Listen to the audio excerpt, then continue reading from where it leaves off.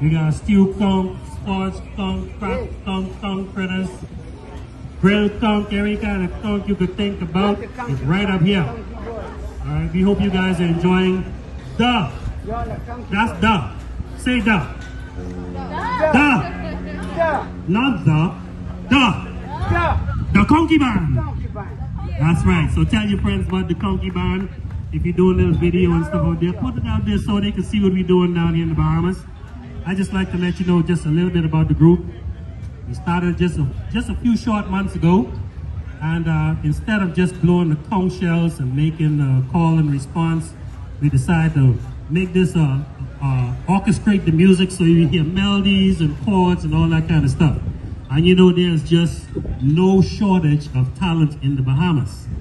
And you know, I believe just like the steel pans in Trinidad and the chime, the bells and the, those, uh, what do they call those um, uh, bells again, what they do classroom? Chimes?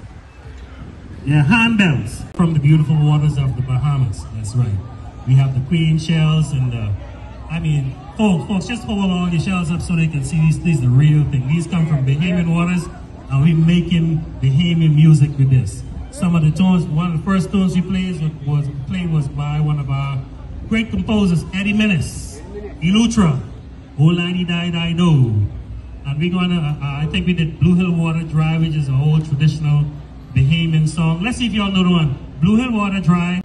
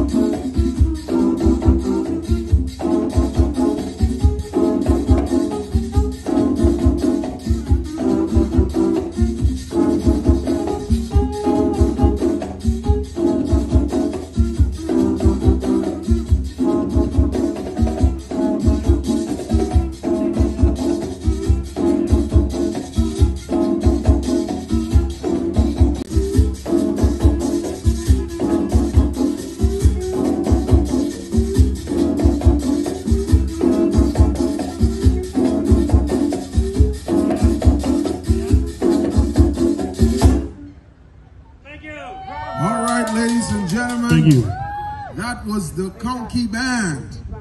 And I want you to understand exactly what he said. All of the instruments that were just